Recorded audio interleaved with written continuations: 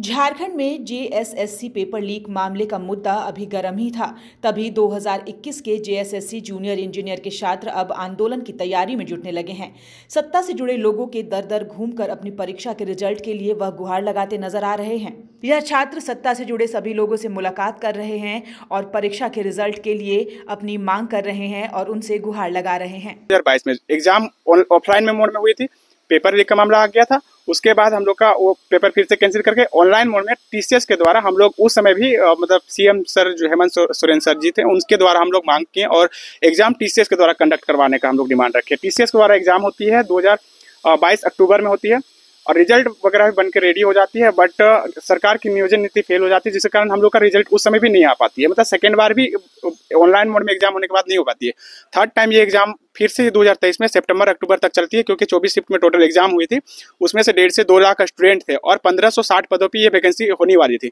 इसमें से अभी एग्ज़ाम हुए, अभी चार महीना हो गया हम लोग का, लेकिन अभी तक हम लोग का रिज़ल्ट नहीं आया अभी तक आंसर की आई हुई है और ये एग्ज़ाम पूरा फेयर तरीके से हुआ है, जो कि टी एग्ज़ाम कंडक्ट करवाई है, जो कि इंडिया का सबसे आप देख सकते हो कि भरोसेमंद एजेंसी है। इसमें किसी तरह का आज तक का मतलब कोई दाग नहीं है।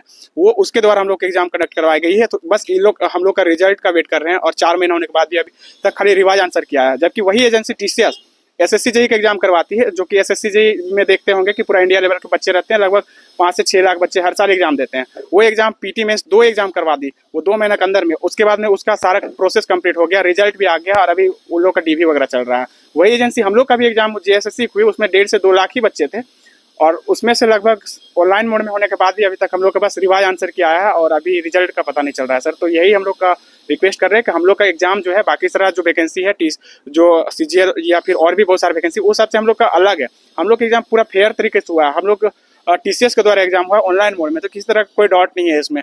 तो हम लोग बस यही रिक्वेस्ट कर रहे हैं कि जैसे चेयरमैन से भी मिले और डिप्टी सेक्रेटरी मैम से भी मिले। उन्होंने भी बोला था कि आप लोग का रिज़ल्ट आ जाएगा बट वो लोग बस डेट पे डेट देते जा रहे हैं और अभी तक मतलब उन लोग कैलेंडर के हिसाब से हम लोग का दिसंबर था। लेकिन दिसंबर तो कब का पार हो गया अभी फरवरी चल रहा है। और वहाँ पे भी जाते हैं, मिलते हैं तो बोलते हैं नेक्स्ट वीक आएगा, दस दिन, पंद्रह दिन आएगा। लास्ट बार हम लोग इसी चीज़ को लेकर हम लोग आंदोलन भी किए थे। सोलह जनवरी को हम लोग धरना रखे थे, वहीं पर जेएससी ऑफ़िस के बाहर में। वहाँ पे भी हम लोग को आश्वासन दिया गया था कि तुम लोग एक सप्ताह से दस दिन में आप लोग को कुछ पॉजिटिव मतलब मिलेगा। हो सकता है डीबी का लिस्ट आ जाएगा। पर इससे पहले हम लोग चाहते हैं कि हमारा जो डीबी लिस्ट है वो आ जाए।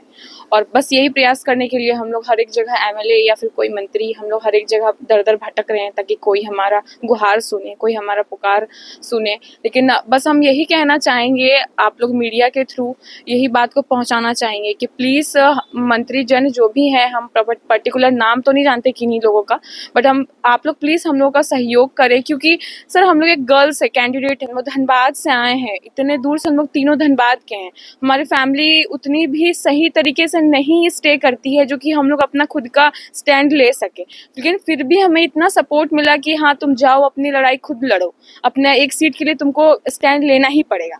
तो हम यही चाहेंगे कि प्लीज़ हम लोग का अगर नहीं दया आता है तो फिर भी हम लोग हमारा चेहरा देख करके आप एक चीज़, एक स्टेप तो लेके देखिए। न्यूज़ विंग के लिए संध्या की रिपोर्ट